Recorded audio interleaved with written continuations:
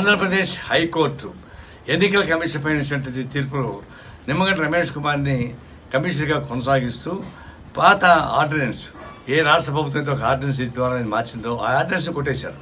ఎప్పుడైతే ఆర్డినెన్స్ కొట్టేశారో ఆటోమేటిక్గా రమేష్ కుమార్ కమిషనర్గా కొనసాగిస్తున్నట్టుగా అర్థమైపోతుంది. దీన్ని సహజంగానే ఆయన కమిషనర్గా ఉన్నాడని చెప్పేసి అని చెప్పుకున్నాడు.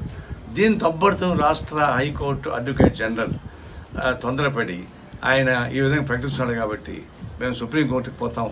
ఆయన కోర్టు ధిక్కారణ కేసు కింద వేస్తామని చెప్పేసి అని అంటున్నారు. ఇది కోర్టు ధిక్కారణ అవ్వదు.